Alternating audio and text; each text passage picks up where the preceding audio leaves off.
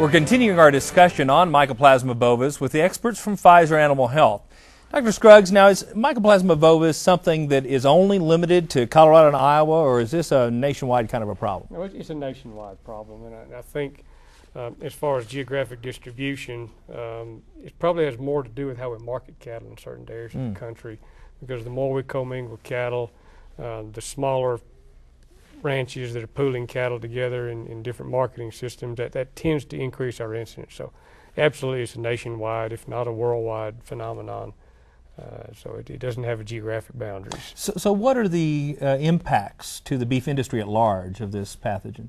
Well, I mean, a lot of times people are asking about financial impacts, and that's a that's a very difficult question to answer because it's hard to tease out what fractional contribution Mycoplasma bovis makes versus a lot of our other bacteria and viruses. But I'd rather frame it in a different way. Okay. Is uh, is is regardless of what the overall incidence is, uh, you can drown to death in a river that's only average depth of three feet. And when you're dealing with an operation that's having a mycoplasma blow up and they're treating a high percentage of the cattle, they're getting very poor treatment responses, lots of non responders, and lots of chronics. They don't care what the nationwide incidence is. Yeah. They know that they're, that they're in one of the deep holes of that river right then and there. And, and to me, that's where we see the most uh, impact is in individual operations that have run aground with a particularly severe problem that's built up over weeks and months. Gotcha. Dr. Blood, uh, specifically, can you talk to us about how this disease is spread and, and, and what some of the things are that we as producers can do to prevent it?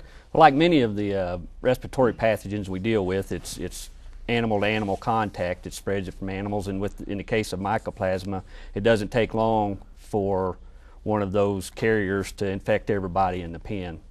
Um, one of the things that we spend a lot of time on in, in our feed yards and our ranch are, and, and Ryan alluded to it a few minutes ago, was we don't have a good vaccine for mycoplasma in, in feed yard or the ranch level, so we focus on doing everything else right to hopefully have that animal in good shape to, if he does get infected, to be able to, to uh, fight that organism off better.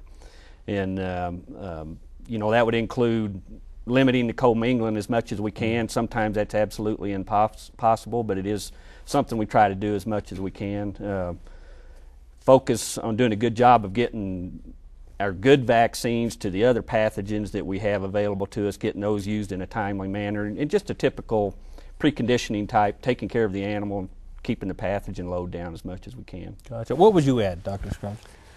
Well, that's an, that's an interesting question, an interesting topic.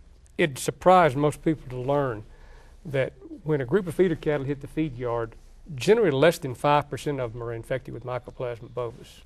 It's a very low percentage, closer to 2%, most studies show. Hmm. But by 21 days on feed, we're up to about 75 to 80% of those cattle are infected. So it blows through them pretty quickly, just like what Dr. Blood uh, alluded to. And the other thing we've noticed in some emerging studies is, is that when cattle are infected with more than one bacteria, the treatment response rate tends to go down about 10 to 15 percentage points.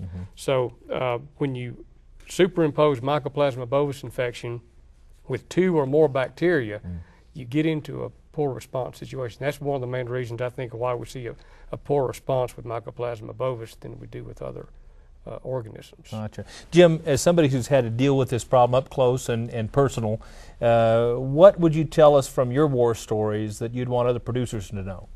Well, this can be a very costly and devastating disease, and if if you're not using the Draxxin as a mass treatment on arrival, use it as your first line of defense. Uh, we've we we found that it made such a dramatic difference in in our right off the bat that our death loss we're running less than a half a percent Wow. and uh, it's actually made starting calves fun again.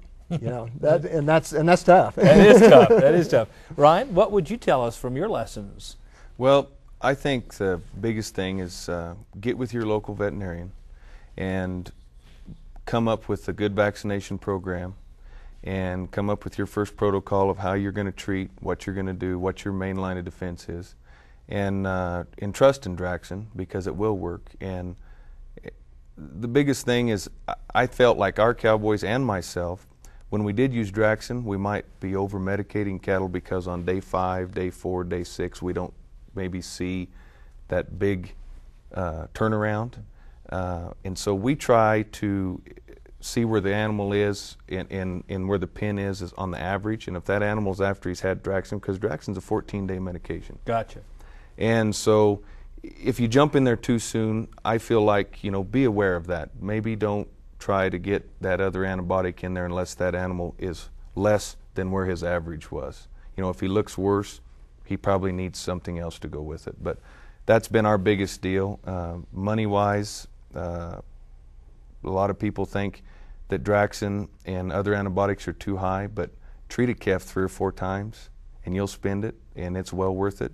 And when you get your close out in the end and performance and keeping that mycoplasma under control when you get your close out at the end, um, it'll be a huge return on your investment. Gotcha. Dr. Blood, uh, for folks who think they may have a Mycoplasma bovis problem, uh, what resources do they have available? Your first resource probably is your veterinarian. Um, you know, when we see a situation where we're seeing some of those infected ears, and ears down, some poor response to respiratory treatment, some of those swollen up, swol- swollen joints that aren't responding to therapy, then that's a good good indicator you have some mycoplasma going on. So your your veterinarian. Uh, it would be a good resource of a person to get in there and do some diagnostics in those animals. There's some things we can do on a live animal and even on those more chronic animals that are that we can euthanize. Then uh, doing a full post mortem on them is a is a good good source of information for what's going on in that herd. Gotcha. Dr. Scruggs, any other resources we should consider? Well, I'll echo, uh, get with your veterinarian and also the diagnostic laboratory resources. That's, that's a, that's a treasure we have in this country. There's some very good diagnostic labs.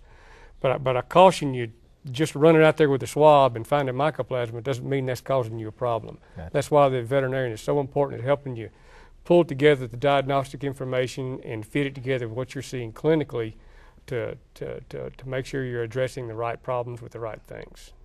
Well, this has been a very, very insightful discussion, and I appreciate your personal experiences uh, in your own operations.